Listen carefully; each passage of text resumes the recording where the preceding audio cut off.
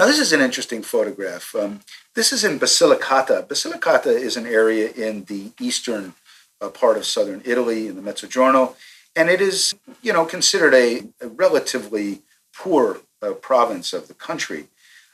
But it's a beautiful landscape, as you can see. It's just lovely hills, farming areas.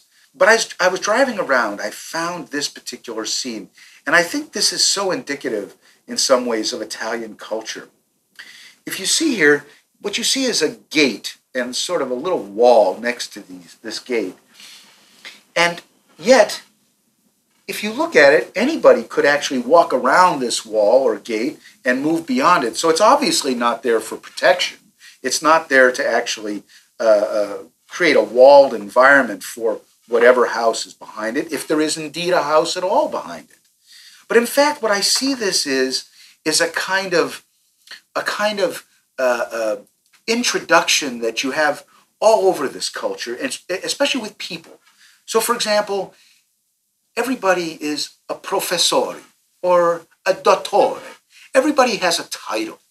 This is the salutation of the house. This is how we know who you are going to see here. Not something to protect the house or, or to keep people out, but rather to announce who is beyond the gate? So, this is in many ways the address, literally, of this individual.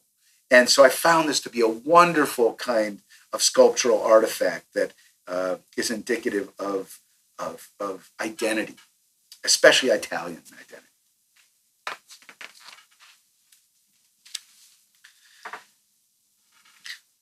this was fascinating. I was shooting in Messina uh, in the north coast of Sicily, and I was at the Messina Botanical Gardens. I was very fortunate. The the uh, the head of the botanical gardens is the father of a close friend of mine, and he graciously allowed me to stay in his small home for several months in 2005. So we were able to spend a lot of time at the botanical gardens uh, there, and they're beautiful, beautiful, beautiful gardens. But in fact, I didn't find photographing there to be particularly productive. I always like to say, you know, nature's something you should enjoy, not photograph. It's it's much too vast, much too rich for a photograph to really comment on it. It's something that you really have to take in in a primary way as an individual. So I'm looking around and I just can't find the juxtaposition, the the objects that really comment on each other. And I and I decided to go up on the roof of the administration building overlooking it. And here is this row of, of air conditioners.